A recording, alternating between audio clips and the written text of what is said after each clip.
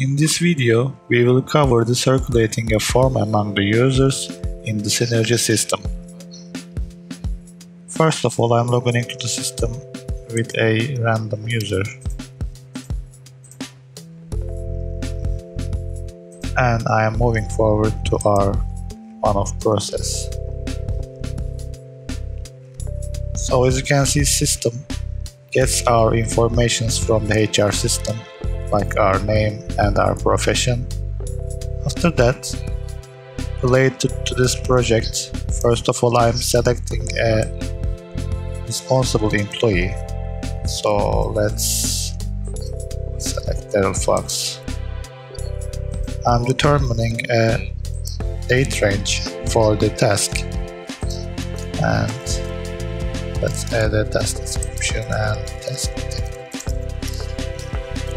So after I fill the form, I'm clicking the send button and after that we will check the flow history. I'm checking the flow history and our form is waiting for Daryl Fox's approval. So let's log in with Daryl Fox's account.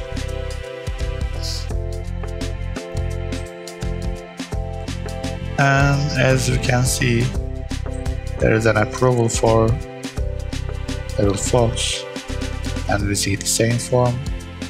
And we have task completed checkbox here.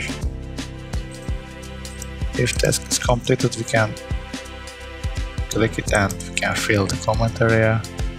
Let's comment it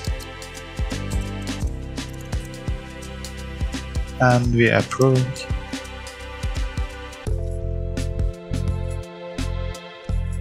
and flow the and on the flow history right now we have a task is done state here and Scarlett Anderson who is flow initiator has notified and our form circulation is finished.